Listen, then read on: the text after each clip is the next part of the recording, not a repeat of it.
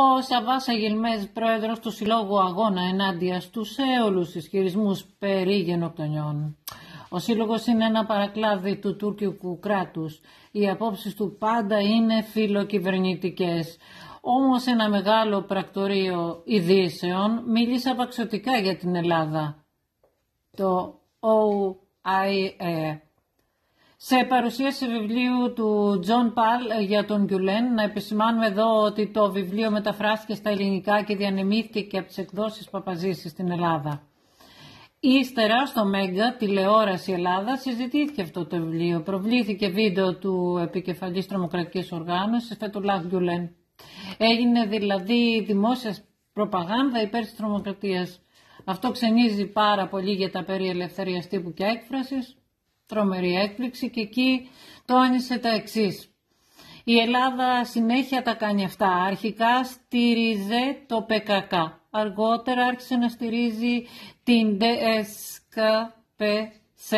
Δηλαδή το Επαναστατικό Λαϊκό Απελευθερωτικό Κόμμα μέτωπο τουρκικά Devrimsi Halk Kurtulus Παρτίζη και Πφέση. Και τώρα στηρίζει την τρομοκρατική οργάνωση του Φετουλάχ Λέν και τα μέλη της. Δηλαδή η Ελλάδα έχει μετατραπεί σε ένα χωριό διακοπών για τους τρομοκράτες. Ποιος μπορεί όμως να ξεχάσει περίπτωση τσατλί γκρίζων λύκων, τα δάση μας που καίγονταν πόσα έχουν λεχθεί για τους πράκτορες. Ο αρθρογράφος Ιμπραήμ Ονσούνογλου έγραψε άρθρα για τη σχέση του θανόντος εθνικιστή ηγέτη Σαδίκ Αχμέτ τότε με τον αρχιδολοφόνο του τουρκικού παρακράτους Αμπτουλάχ Τσατλή και πρόσφατα.